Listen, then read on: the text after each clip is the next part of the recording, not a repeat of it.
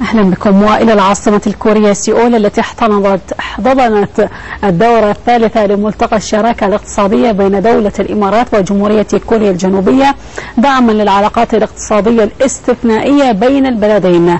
مراسلنا نجيب الخش من سيول والتفاصيل. شهدت العاصمة الكورية سيول انطلاق الدورة الثالثة من ملتقى الشراكة الاقتصادية بين دولة الإمارات العربية المتحدة وجمهورية كوريا الجنوبية. وافتتح الملتقى معالي عبد الله غباش وزير الدولة الإماراتي بحضور عدد من المسؤولين الكوريين وأعضاء السلك الدبلوماسي العربي والأجنبي في كوريا. ويحتضن الملتقى طيفا واسعا من المؤسسات الحكومية والشركات الخاصة في الإمارات.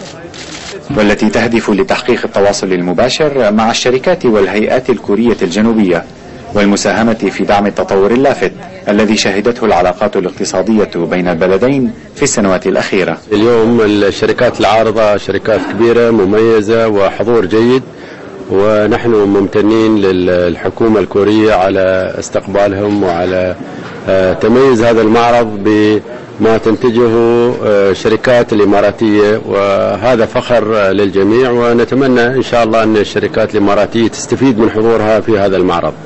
كما شهد الملتقى توقيع مذكرة تفاهم بين المنطقة الحرة في جبل علي عن جانب الإمارات وكل من بنك التبادل الكوري وبنك هانا والمنظمة الكورية للشركات الصغيرة والمتوسطة عن الجانب الكوري. وأكد المشاركون على الرغبة في توسيع آفاق التعاون المستقبلي لما فيه من مصلحة مشتركة بعد أن وصل حجم التبادل التجاري بين البلدين إلى ما يقارب 22 مليار دولار خلال العام الماضي.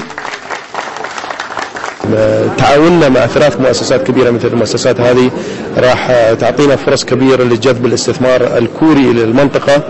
آه، خاصة آه، اليوم إذا نظرنا للشركات الكورية المتواجده عندنا في المنطقة الحرة في جبل علي في سياق فترة من النمو الاستثنائي للعلاقات التجارية بين الإمارات العربية المتحدة وكوريا الجنوبية. يهدف الملتقى الحالي لبناء قنوات جديدة تواكب التطور النوعي للروابط الاقتصادية بين البلدين خلال الأعوام المقبلة. في فترة نمو استثنائي للعلاقات التجارية بين الإمارات وكوريا يهدف الملتقى الحالي لفتح قنوات جديدة تسمح بالاستمرار في تطوير الروابط الاقتصادية بين البلدين كما ونوعا. نجيب الخش تلفزيون دبي من سيول.